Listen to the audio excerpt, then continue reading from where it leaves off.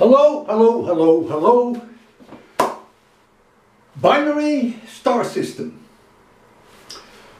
Two stars.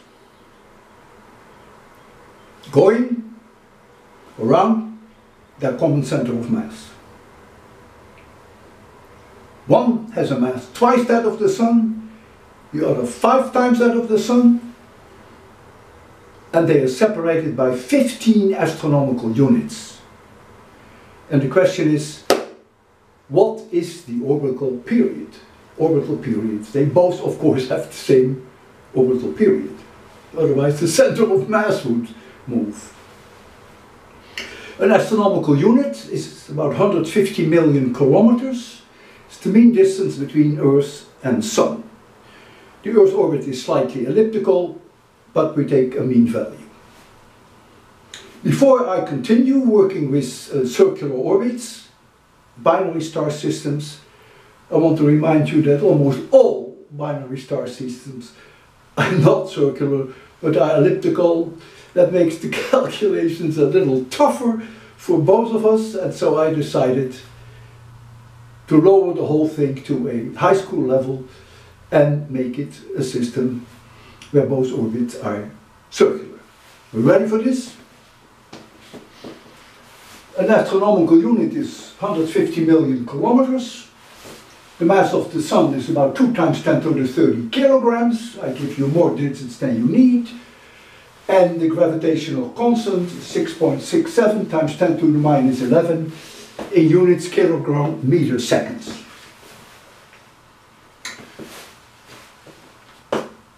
These two stars, according to Newton's law of gravity, attract each other.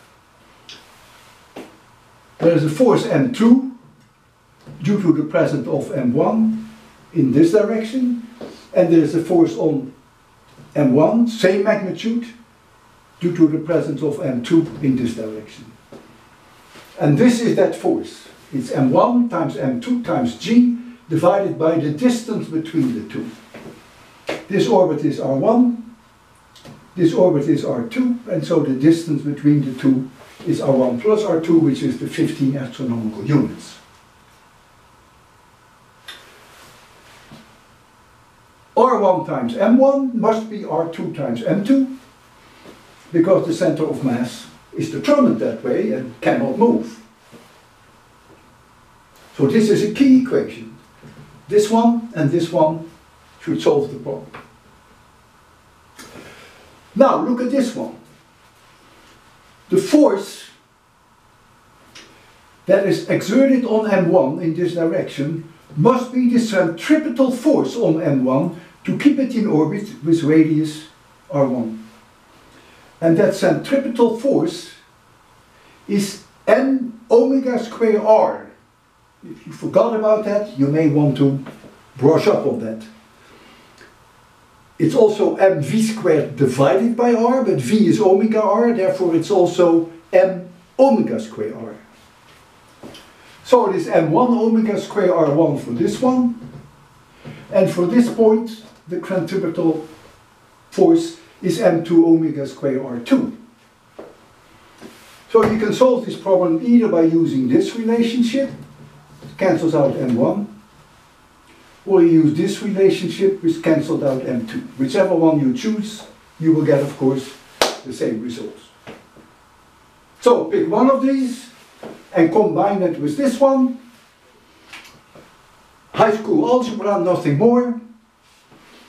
If you want to calculate R1 and R2, I'm not saying that you have to calculate both, but if you wanted to do that, R1 is about 10.7 astronomical units, R2 about 4.3 astronomical units. I then find that omega in radians per second is 9.1 times 10 to the minus 9. The orbital period is 2 pi divided by omega and I now change units from seconds to years and I found that the orbital period is 22.0 years.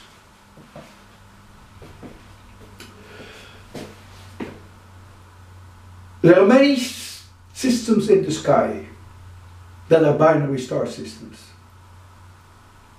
enormous fraction of all stars are binary star systems.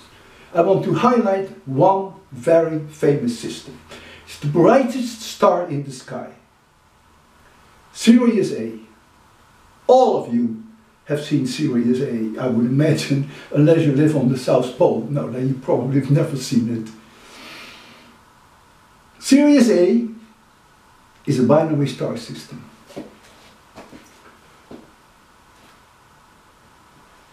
Sirius A has, we call one star A and we call the other star Sirius B. Sirius A is the brightest of the two, has a mass 2.4 times the mass of the Sun. It's about 20 times more luminous than the Sun. And Sirius B has a mass of about 1.0 times the mass of the Sun, so probably the mass of the Sun. And is about 400 times fainter than the luminosity of the Sun. And what is so spectacular about Sirius B that its size is only roughly the size of the Earth. That means the density of Sirius B is about a million grams per cubic centimeter, a million times larger than that of water. This was very hard to swallow for our great great great great grandfathers to accept that such stars existed. We now know they do. We call them white dwarfs. And Sirius B is the first white dwarf that was discovered. And there's something remarkable about the history of that. Bessel, an astronomer,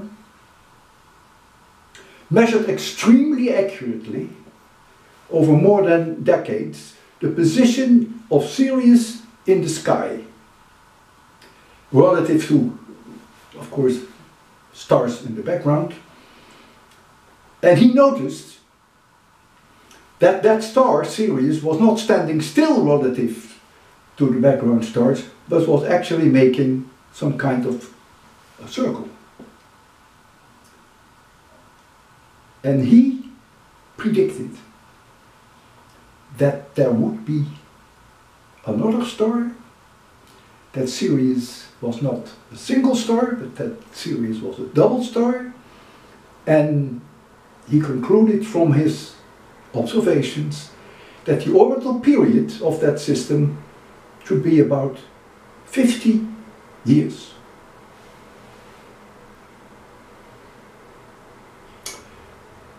He wrote in 1838 a letter to Alexander von Humboldt. And I will quote his letter, it was in German, but I've translated it in English. He wrote, I adhere to the conviction that the star Sirius is a binary star consisting of a visible and an invisible star. And now comes his famous words. There is no reason to suppose that luminosity is an essential quality of cosmic bodies. Visibilities of countless stars is no argument against the invisibility of countless others. And with that famous statement, Bessel opened up a whole new way of seeing, namely the astronomy of the invisible. And he wrote that letter, I think I mentioned that to Alexander von Humboldt. In 1862, Alvan Clark, famous for his designs of telescopes, built an 18 and a half inch refractor, which at that time was the largest telescope that existed.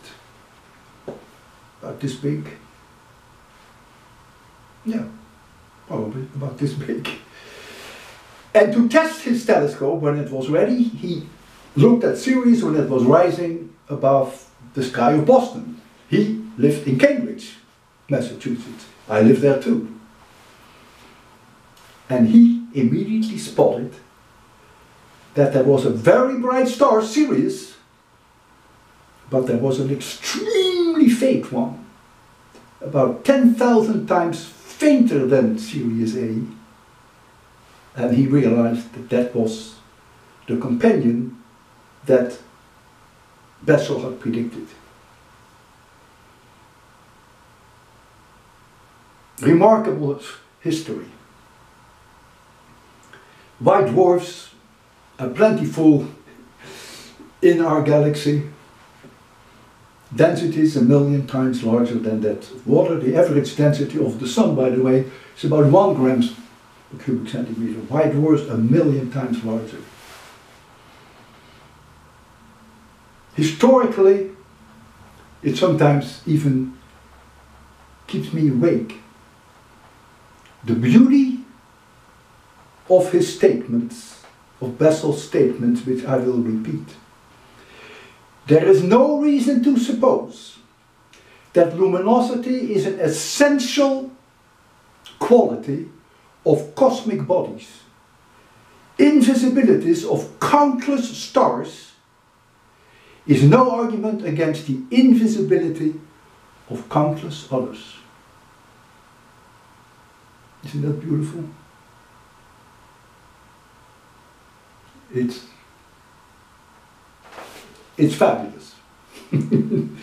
this is what science is all about the beauty, the elegance. Okay, try to read up on Sirius A and B.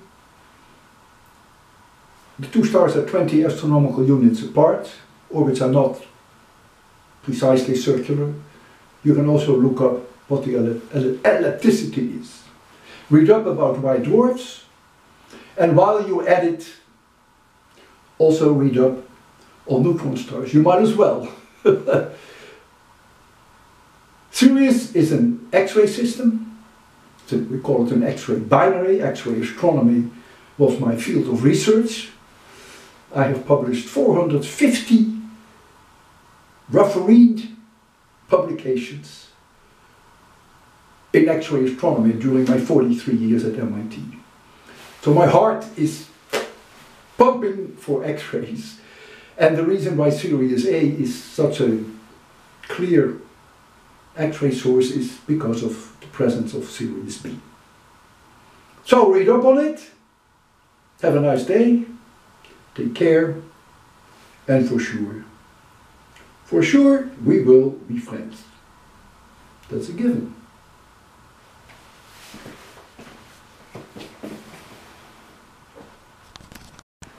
I just watched the solutions to the binary star problem. Uh, a few minor corrections. When I talk about Newton's law of gravity, which of course is inversely proportional to the distance square. I did say R1 plus R2, but I wrote correctly, of course, R1 plus R2 square. I then state, well, most of you have seen Sirius, and that's probably a correct statement. I said, unless you live on the South Pole. I meant to say, unless you live on the North Pole, because the declination of Sirius is minus 16 degrees declination, minus 16 degrees. So if you live very far north, far above the polar circles, you wouldn't be able to see Sirius. I also stated that Sirius is an X-ray source. That is correct. I said because of the fact that Sirius B is a white dwarf. That is only partially correct because both Sirius A and Sirius B can be seen in X-rays. If you Google Chandra Observatory, X-ray observations of Sirius, you will see a wonderful picture. You will see both Sirius A and you will see Sirius B. Okay? I didn't want to record all this, but I hope you will accept these minor corrections.